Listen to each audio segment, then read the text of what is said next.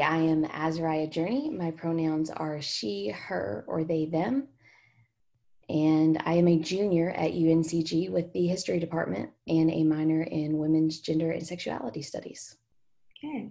Well, thank you for agreeing to do this interview for us here on August the 19th, 2020. Um, can you start by telling me where you are from? Yeah, I am originally from Louisville, Kentucky. So the south end of Louisville, um, what we called it. And I was born and raised there, but I graduated high school in Chicago, Illinois, and have been uh, in Greensboro for about three years. Okay. Did you come to Greensboro so that you could attend UNCG?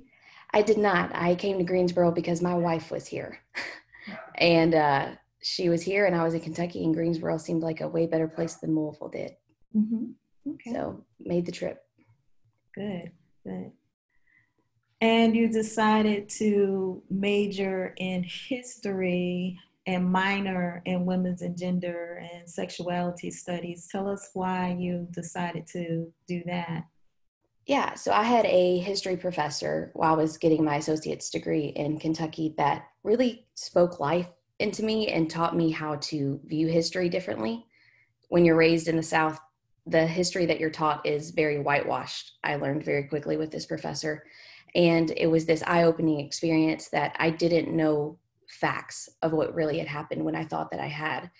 Um, so she and I had dialogue together. And uh, when I decided to move, uh, I was talking to her about a major to pick for my uh, bachelor. And she said, you know, you love history. Why are you, why do you keep fighting this, um, this battle, you know, trying to find a major that you think will work when this is what you should do. And I said, yeah, I think you're right. I talked to my wife about it and um, got in with the history department at UNCG. But the uh, WGS program um, was because I met with a couple of the students in the history department that were also in the WGS department. And being newly out, newly married, um, it was something that I realized very quickly. I didn't know a lot about my queer ancestors or the community as a whole. And I wanted to make sure that I did. So I just plugged in and has been a something I've enjoyed ever since. So so your focus in history, what appeals to you is queer history? Uh, American mm-hmm. history. Mm-hmm. Um, but when I say American history, I'm I really like to dig into the history that's not taught. So mm-hmm. I like to research why it's not being taught, what um, were the steps of it being erased, what was the intentions of it being done, and why is the, I guess, public opinion of it okay for this to happen. In 2020, we've kind of gotten this um, age of enlightenment, I've like to call, you know, the mm-hmm. corona enlightenment in a degree where um, people are having dialect that didn't happen before and it's allowing people to educate themselves which hasn't happened in probably 60 years mm. so um, it was something that i just was very passionate about and um, became more and more passionate about the more that i discovered um, groups being erased and not being taught and kind of decided that that's where i wanted to be mm-hmm. So tell me more about your experiences growing up. Yeah, so I am a Southern Baptist pastor's kid. Okay. Um, I was raised in church. Um, I was raised. we always joke I was raised on the altar, so I used to open up for bands, um, revivals. Uh, was on the tour circuit, tour circuit for a while. Um, my mom was um, Southern Baptist, you know, private school raised as well, and when I was, I think 13, my parents got divorced, but they both kind of went separate ways. So in that, they both went away from their original self. So they got into some pretty heavy drugs and just some things that mm-hmm. um, really messed them up. And in doing so, I grew up very quick. So I raised my younger brother, um, and then life happened, and I just decided to step up when I needed to and made sure that my younger brother had a childhood um, when I didn't. Um, but that was the best, one of the best decisions I've ever made, and it caused me to learn how to speak and to ask questions and to kind of um, be an ally for myself and then learn what it means to be an ally for others when you can't be for yourself.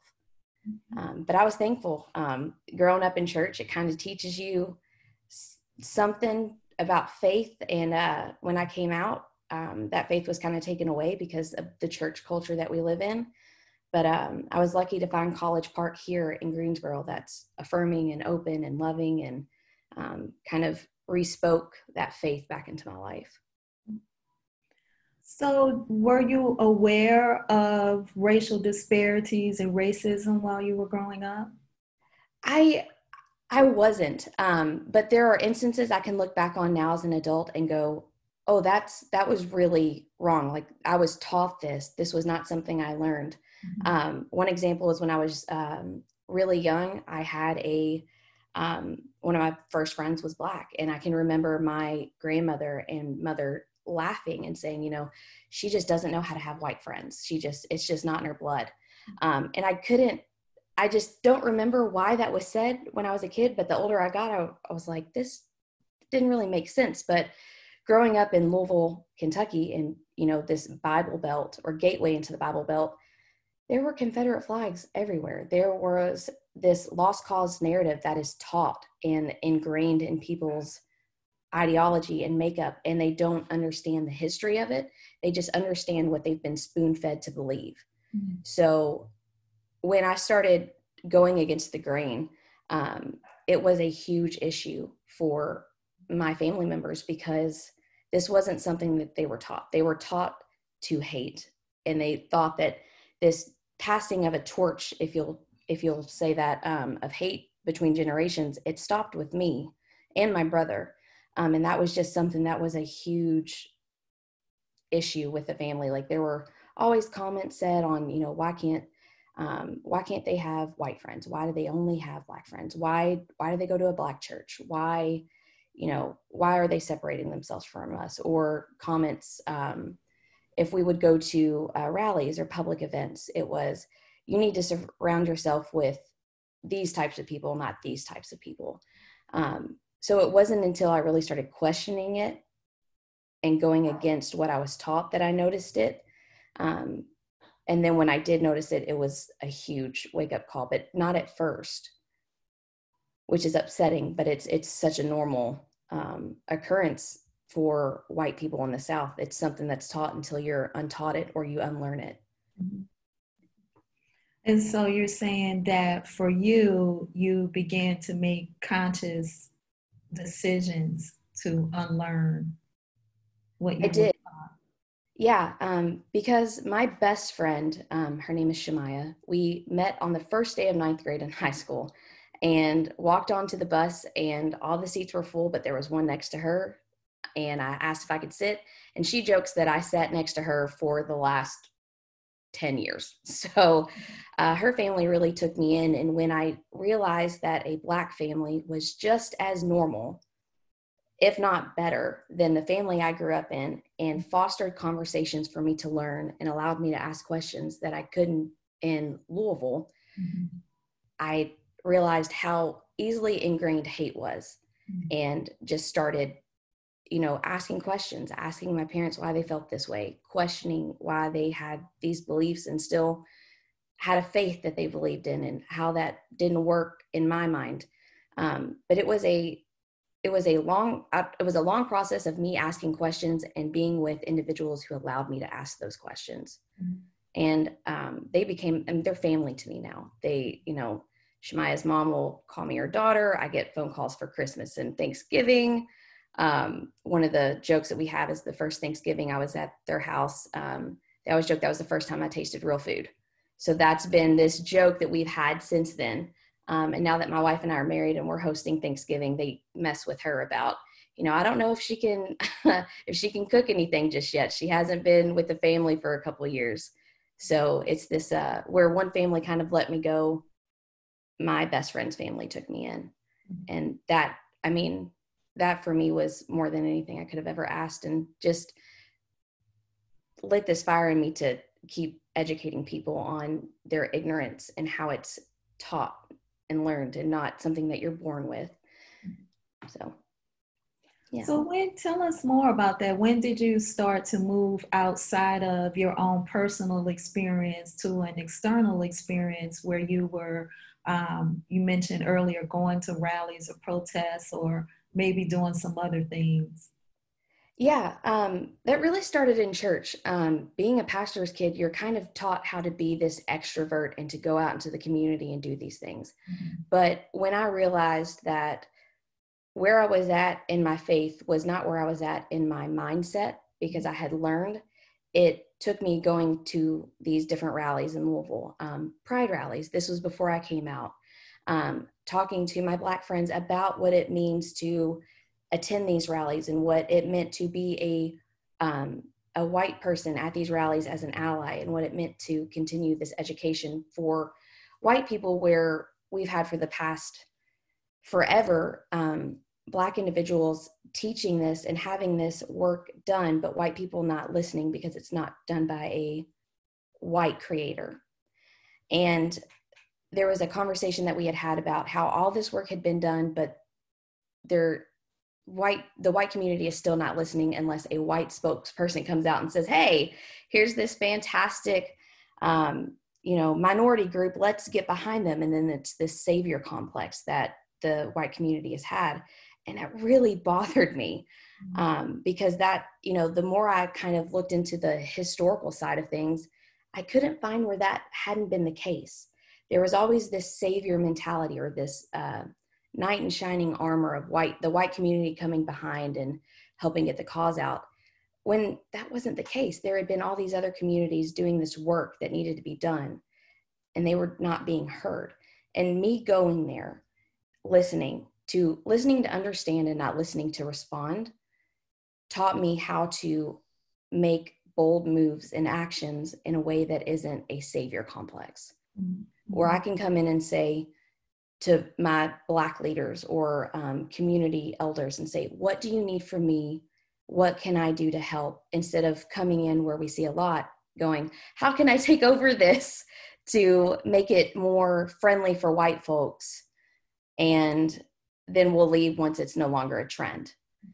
Um, so once I kind of, sh- you know, learned that and had those conversations, it was, okay, what can I do now to make sure that the platform that I'm building for others allows me to share with a community that doesn't know this?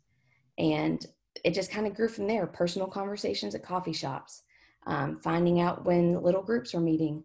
And it wasn't until I moved to Greensboro that I really got connected. Um, because coming out in Kentucky was scary, especially as a pastor's kid. Mm-hmm. Um, I had death threats. My car was keyed. Tires were popped. Um, a ton of other things. And in the span of 24 hours of me coming out, I moved here out of safety concerns. Mm-hmm. Um, I had planned on moving to Greensboro. I was ready to make the move, but um, not within a 24 hour period. And when I did that and kind of started becoming who I am more and more, I realized that Greensboro had such great leaders, and I wanted to connect with them just like I did in Louisville. And what they saw in me was okay, we have, you've done the work up until this point, help us lead. And that was this, it was kind of this, again, this pa- passing of a torch. Um, you've put in work, we've seen your work, we know what's going on, and you're good to go. Um, and then, you know, Greensboro's become home, and now there's this huge community of young activists and this amazing stage where work is being done. And it took me moving here to realize Greensboro had already been home to this national stage before. I hadn't been taught that. Mm-hmm. Um, and that was shocking to me, especially with having um, what I thought was, you know, some pretty well-rounded studies going. Wait, Greensboro is home to these amazing things. I had I had never been taught this. What what else am I missing?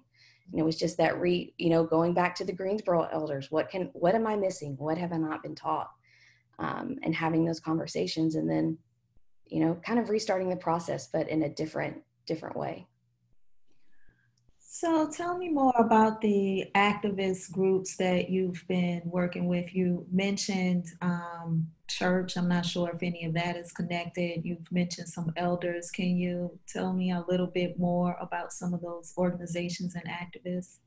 Yeah, so I'm a part of a couple different ones. So Power Beyond Pride is one here in Greensboro, um, and that's one of our main focus is to um, get police out of Pride.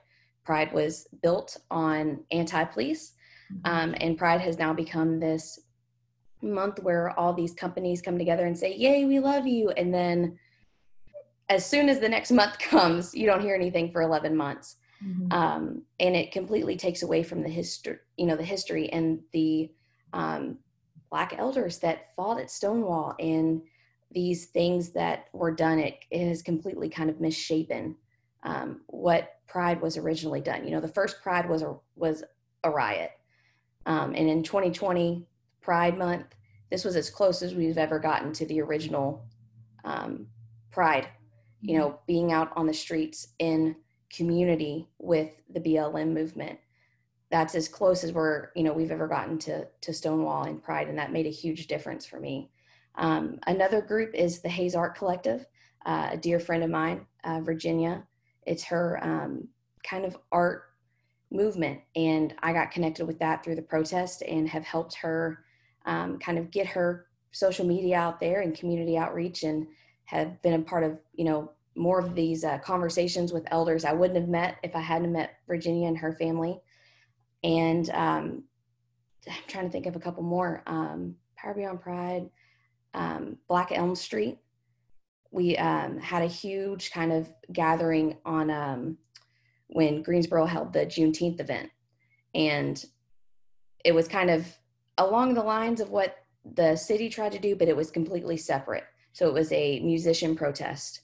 And I just helped do security there, kind of walked around, make sure that um, people were doing the right thing, make sure that we didn't have uh, white folks coming up to start problems um, like we had seen in the protest before, and really just make sure that um, people who didn't have a platform before had that platform to speak.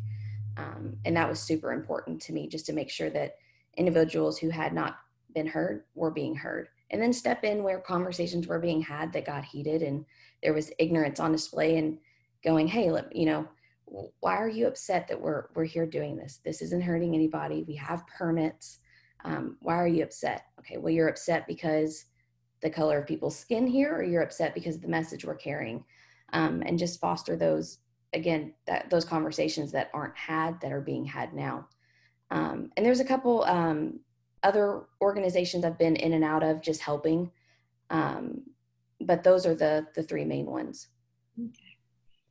So tell me about the first protest that you attended in Greensboro related to um, either the um, reaction to the murder of George Floyd or related to Black Lives Matter. Yeah, um, man, that day changed my life. Uh, so I got a text message from a friend on campus that said, because um, we had been in conversation, you know, are we doing anything in Greensboro? Are there protests? And she sent me a message and said, hey, um, it's going down, let's go. so went downtown, had my wife drop me off, and uh, the marches start about started about an hour later, and um, it was a moment that you read in history books, you know, these moments in the 60s where communities come together and you feel the energy physically shift. I knew that that was happening. And just being a part of it and realizing that we were there because another black man had been murdered by the police. We weren't here to make a scene. We weren't here to get, you know, the I like to protest button. Um, we were there to make a difference and have our voices heard. And we were also there because of Marcus Smith and everything that's gone on in Greensboro that people didn't know about had been so well hidden. And when we were marching, they um, needed a pace counter, and that's something I've just learned in being in church. You can't you can't march unless you got a pace counter because people are all going to walk at different speeds and different ways. And uh, Virginia came up to me and said, "Hey, we would can you can you help us lead?"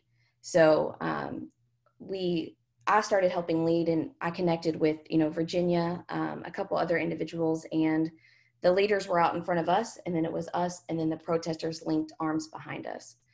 And there was this moment that day that um, a gentleman named Brant, he is a um, black gay man in the community, and we were leading, and the you know, we were saying our chants and the things that we were having them repeat back to. And he, he started sobbing and he started, he said, um, am I next? Mm. Am I next? And it just, it hit everyone because that was the reality. Mm-hmm. Is this black man next? Is this black woman next? Um, what are we doing in Greensboro to make a difference? Because history's been made here. And we, um, when he did that, he started, he started crying. Um, so I just kind of, you know, came up and hugged him and put my arm around him and, you know, told him I loved him. And we linked arms and I have this picture and, um, we started saying say you know say his name say her name and the reality of how many names were on this list you it it doesn't hit you until you're in the middle of it reading all these names on a list and there's there's more pages than you can count because there's so many names. And then you think of all the names that aren't on the list that we haven't been told. Mm. And we all got emotional and we stopped and I realized very quickly that I could catch my breath after being emotional and yelling. And George Floyd never got that chance. Mm-hmm. He never got the chance to catch his breath. And the only difference is the color of my skin. That was the only difference. And that just did something. It just, it, I had already, you know, been working in the community, but that realization as a, a young queer individual in Greensboro and watching the murder of someone on national television and seeing this, you know, I, I'm 27, so um, these names are not not new. You know, this is something we've been raised in, and the debate that has happened when when these individuals are murdered was beyond my thinking because it does become this trend in the white community. This, oh, we're we're we're upset. Oh, we're done oh another oh we're upset we're done. And i was infuriated because this isn't a moment this is a movement that has to occur. This has to result in change because if not in 60 years we're going to be having the same fight that 60 years ago they were having in greensboro. And i'm not having it.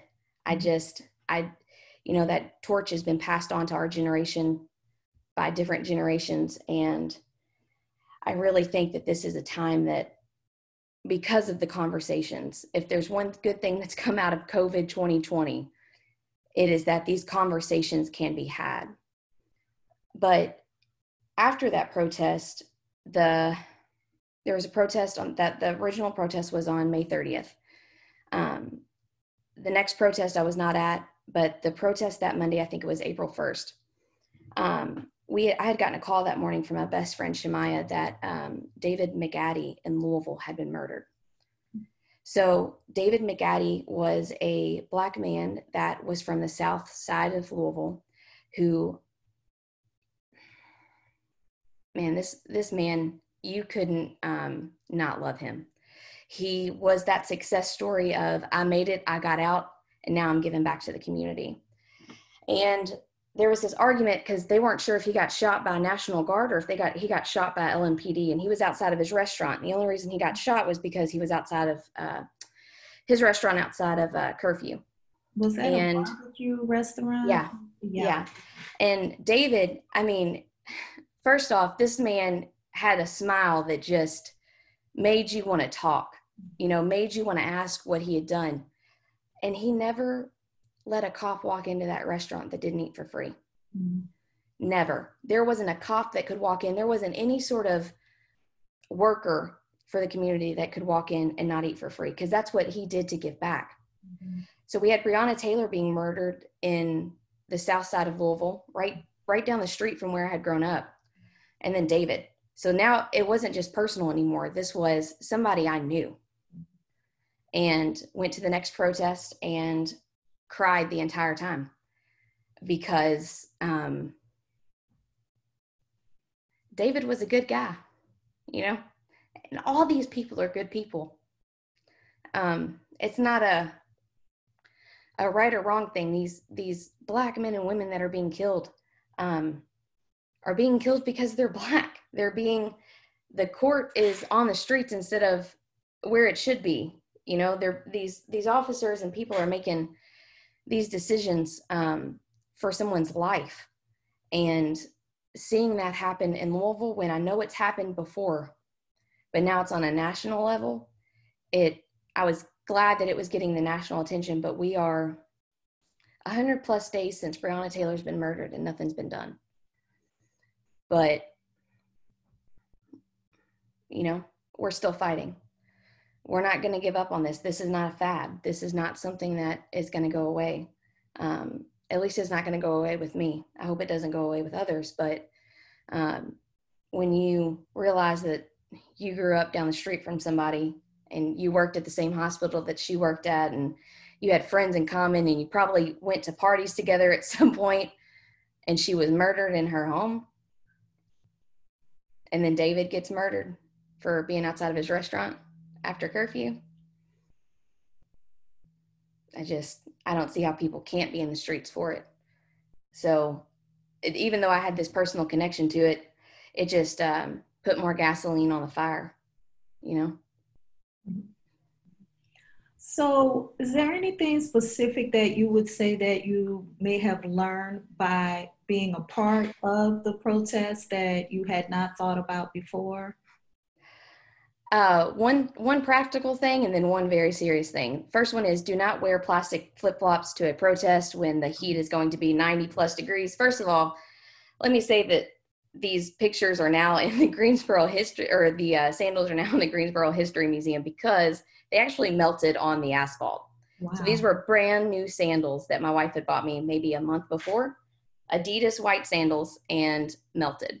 Mm. So, but we joke about it because I would have trusted those sandals with my life. I had been in prayer with those sandals. I, I knew I could run in those sandals if I needed to. Those sandals had my back that day. Hmm. Um, on a realistic note and a very serious note, it taught me how important it is to come to a community and to have dialogue and how how it takes protesting to make things get done there are so many people especially in the white community that are okay with people going to the capitol with guns to protest wearing a mask but when we are out here protesting for the murder of someone just to be investigated it's a huge it's like what what are you doing you're how dare you do this thing to fight for justice, but it's okay for another group to do it. And again, the only difference is the color of your skin, your sexuality, and the God that you pray to. Where the BLM community and this community that has been created is open to everyone, regardless of religion, sexuality, race. It doesn't matter. If you can foster a conversation, that's all that matters. If you listen to understand and to be educated instead of listening to respond and to argue, your whole world will change and your community will change because of it. And protest taught me that. I thought that was something that I knew, but it, it wasn't ingrained until it was ingrained on the streets um, with those flip flops. So, also, don't wear all black. It's going to get very hot very quick. so, yeah, and I think that it's important to emphasize that because we are talking about the summertime and yeah. um, so that people get a sense of how hot it really is. Yeah. Times, I mean, when there are groups of people together. And people don't understand that when you're walking in this heat, um, it's not like wall, walk, mall walking. You're going to get hot very quick and you're going to sweat. When you stop sweating, you're dehydrated already. Mm-hmm. So these breaks that we're taking, it's not for you to talk, it's for you to drink. Mm-hmm. Um, don't come to a protest um, just to get your protest sticker. This is not the place for that. Um, I said that to the group on the day that David, um, I got the news that David died. I gave this speech in front of these group of individuals that had come to protest and said, look, if you're here to get your protest button, you need to leave now because people are dying still. Mm-hmm. And if you're not ready to stand in front of officers and make sure someone doesn't get killed, this is not the time for you to get your button. You can order a shirt online and help a black business um, grow. This is not the place for you.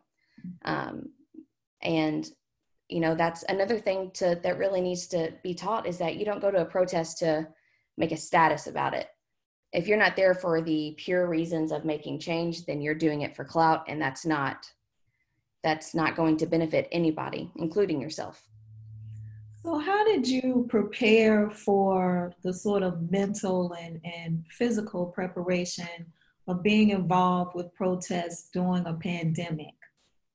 Um, I didn't, and I hate to say that. I don't think anything could prepare you for doing process during a pandemic. Mm-hmm. Um, but I did decide that my health um, could be put on the line to make sure that other people lived. And mentally, there wasn't anything I could I could do to to prepare for the the hate emails and the messages and things that were said or done um, to me once my picture got out that I had been helping. There wasn't anything that I could do to prepare that except love on my wife, keep working, keep keep fighting, dig into my Bible a little more, pray a little longer, and call my friends and tell them that I love them. Because what they can't take away from me is that community that I'm building you might you might mess with me for about 10 15 minutes but i got a rescue dachshund that's super excited whenever i walk out of a room uh, and a wife who loves me and that's all i need and add on this new community of world changers you know you're going to be okay it's going to be hard some days and you're going to you're going to ask yourself um, is it worth it but when you realize that kids are dying just because of color of their skin um, it's work. It doesn't matter. It, you you got to do it, and if you're not doing it, you got to be doing something else. You know, not everyone has to be a frontline hero or worker. Not everyone can be um, a soldier out there, you know, doing these things. But we need people with a credit card ready to bail people out. We need people um, sharing petitions and sharing this, you know, real news, um, and not this fake dialogue that goes on. Um, and that's been something I've really been telling people is that don't feel bad if you can't be out here in the protest. Do something else. We'll get you connected. We'll get you plugged in. You know, we don't want you passing out. We can't carry. We can't carry you when it's 90 something degree heat. We'll we'll pray for you and we'll put some water by your side, but we gotta we gotta keep going. So so what sort of interactions did you all have with the police? You mentioned the police. Um, certainly, yeah. you were present the Greensboro Police. Yeah, that first pro- that first protest, the police, um, they it, it's almost as if they were trying to agitate the situation. So we had already had permits to be out here. The police chief had been on the phone with AJ on where we were marching. So this wasn't a shock. This was something that was well thought out and planned by a genius black man. But we had cops driving by on bicycles or up side streets just looking to do something. You could tell by their face they were agitated, they were upset. And for us, it was just ignore them. Keep yelling louder, keep walking, you know they can't do anything. We're we're here in this crowd. But it was when we stopped and I was walking back to my car that I noticed a cop and a, a black gentleman. This black man was just standing stone faced and just had his arms crossed, you know, standing up, and this cop was just going at him. And I was like, what? You know, all these people are turned this direction and this man's turned this way and this cop's in front of him. So I walked over and I just kind of tapped the man on his shoulder and I said, I'm just going to step in front of you and I did, and that cop's demeanor changed. And he was like, Well, I just want to, you know, you guys can be out here and all this stuff. And I realized his car was parked behind where we had been marching, and he was by himself. So this was a cop that was pissed that we were doing work, had had no other unit with him, didn't have his body cam on, and was getting in a black man's face because he felt that he had the authority to do so. And it wasn't until a white queer woman got in front of a black man that he stopped. So I waited about 10 minutes. A couple people came and kind of stood by him just to be witnesses. And I said, Hey, I'm going to go. Walked down the street, realized the cop had turned back around and got back in this man's face. And nobody had got in between the cop and the man. And I stupidly walked behind the cop instead of walking on the side. And the cop turned around real quick. And I said, Sorry, didn't mean to walk behind you. Didn't mean to walk behind you, but I'm just going to stand here again since we still have an issue stood there for about 20 minutes until he got back into his car and turned, did a U in the middle of the street that was already blocked off and went down the other way. But this cop was just mad that he couldn't get a or elicit a response that he all he needed was one person to pop off to him for him to feel like he could have arrested. And then one person getting arrested leads to everyone else and a whole issue. And I saw that that day and I didn't think in the moment to get his badge number or his name because I was so worried that we were going to have another situation. And then two days later, David is murdered, and we see cops blocking off downtown um, during the protest, and people are in front of the justice or in front of the courthouse, and there's side streets downtown just blocked so people, protesters can't get in.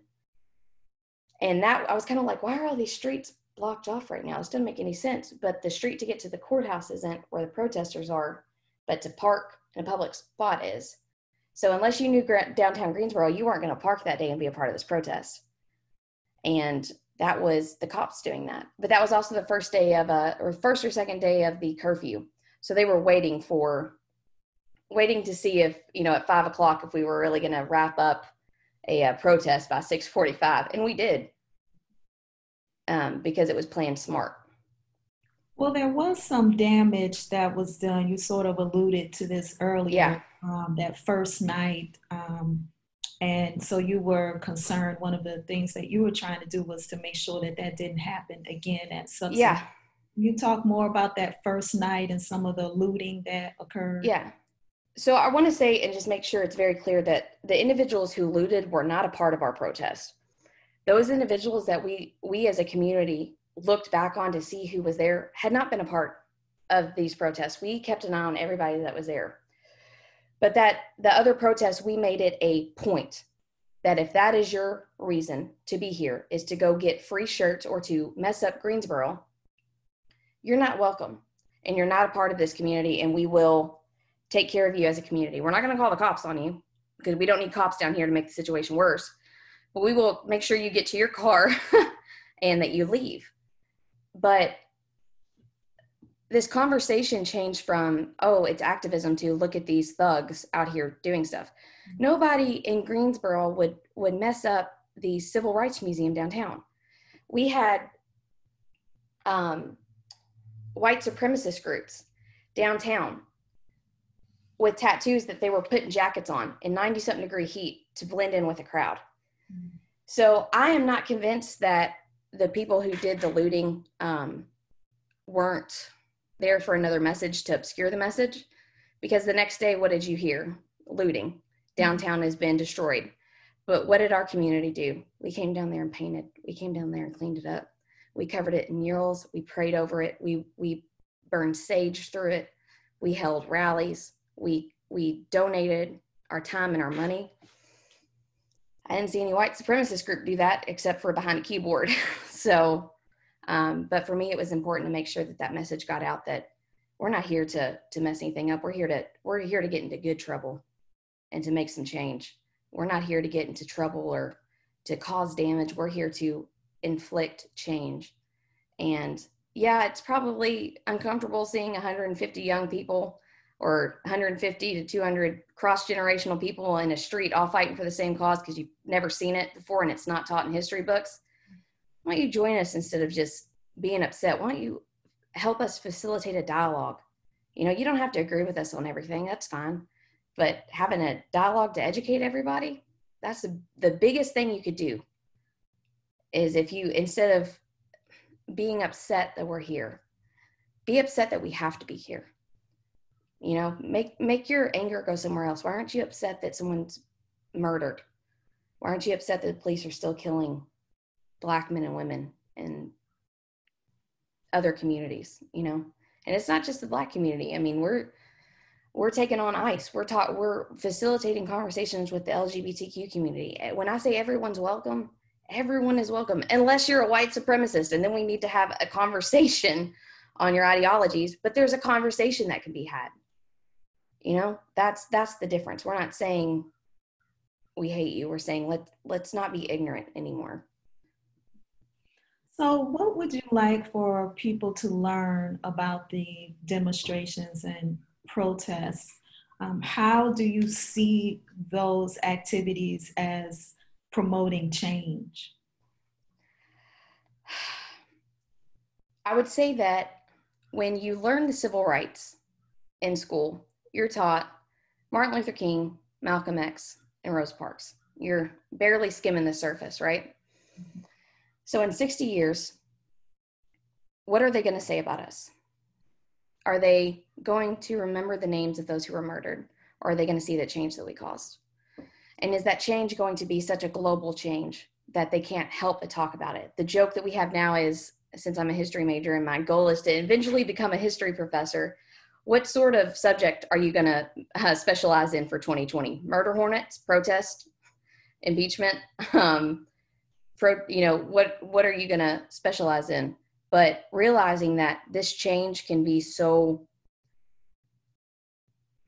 connected and intertwined in everyday life and realizing that this has to happen so that in 60 years this isn't happening still or something worse i mean that's that's the biggest lesson. Get into good trouble. Get get get out here. Work.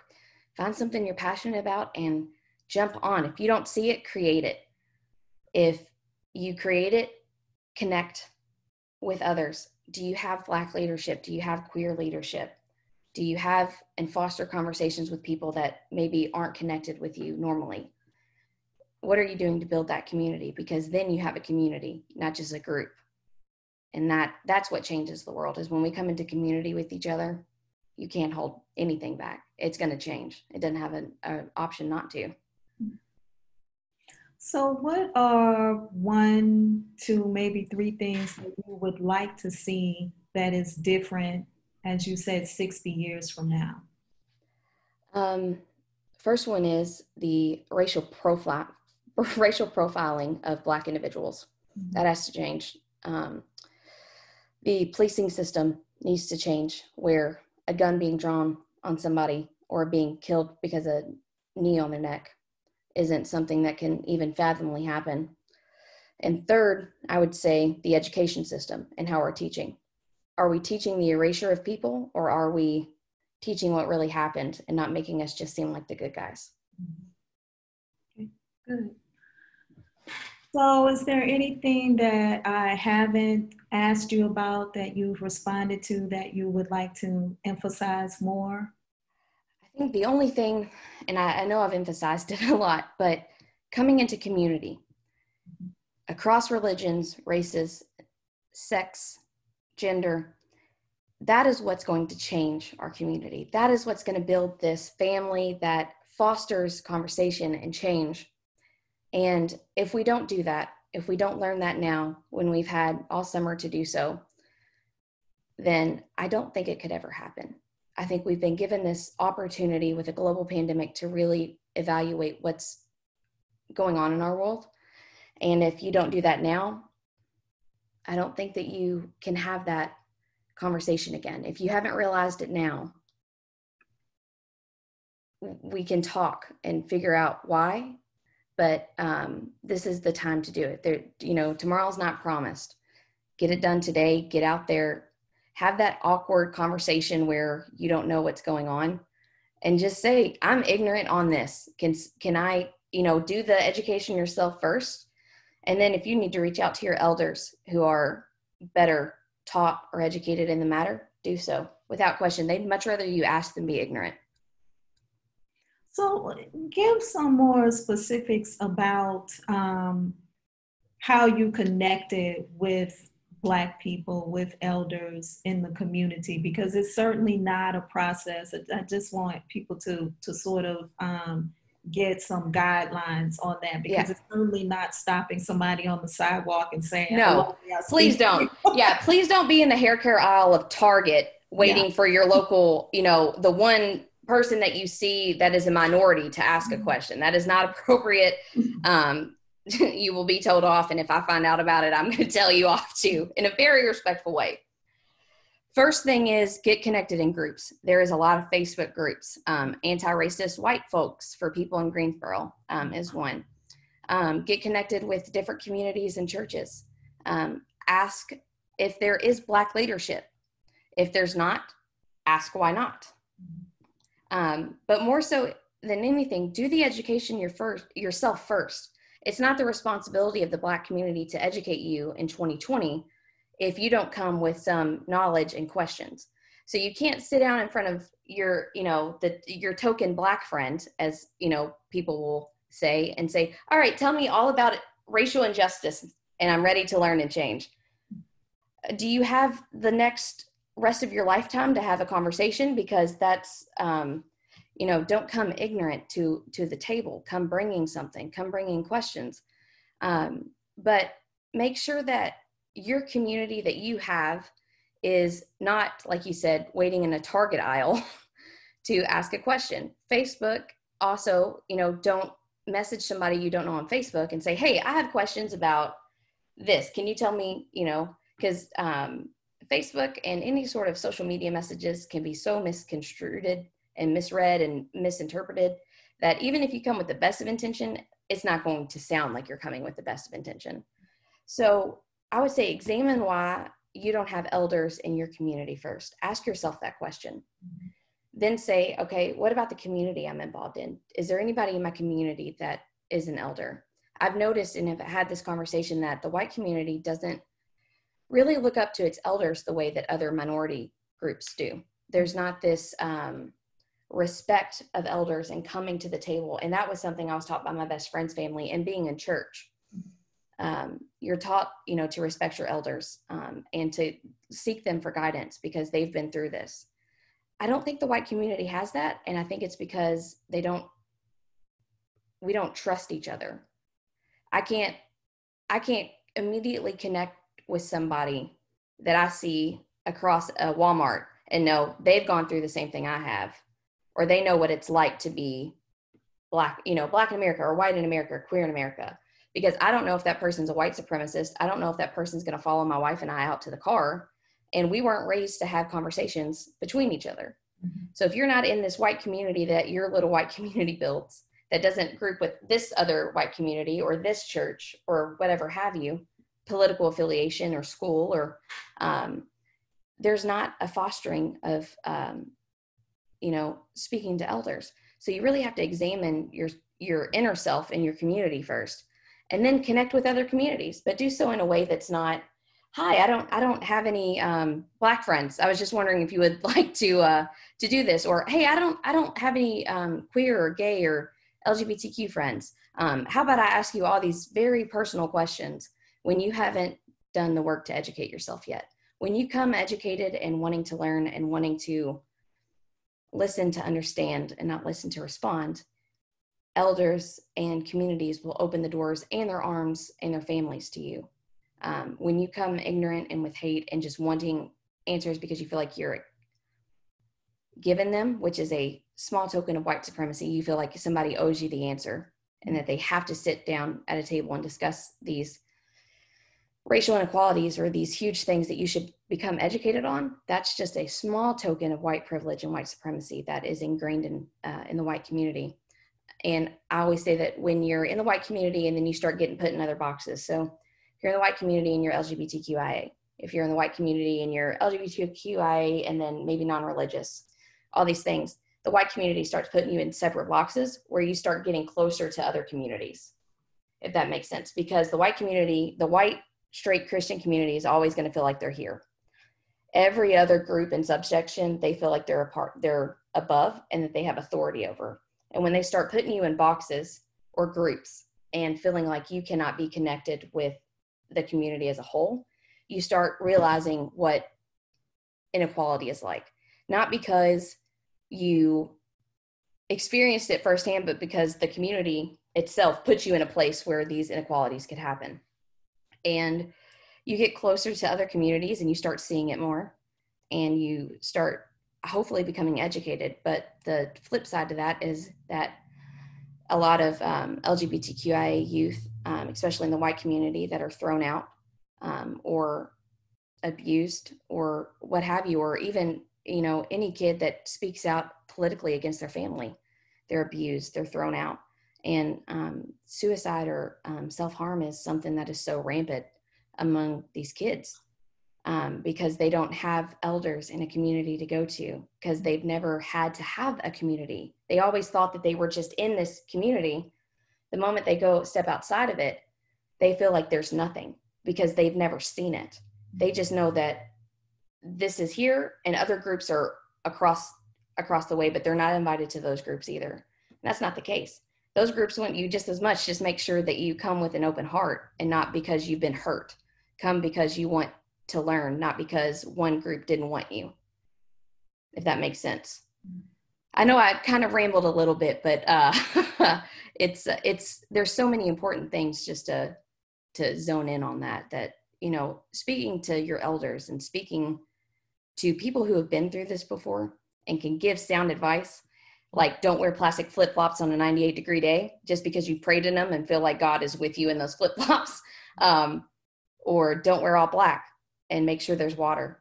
Um, simple things that our generation didn't have to learn that people 60 years ago that did this. No without a fact. And then they can laugh at us when we're sitting at the dinner table two weeks later talking about the white girl with the white flip-flops who's made you know pictures and how that's now the running joke between our community that everything was ready except those white flip-flops. Mm-hmm. but i had elders that called to check in to make sure i was good. And then then they joked on me mm-hmm. which i accepted with open arms. I loved it. Okay great. So that ends our recording. Thank you so much